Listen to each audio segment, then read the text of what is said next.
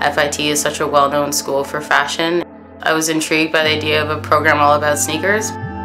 The partnership with FIT definitely stood out to me and made it seem more credible.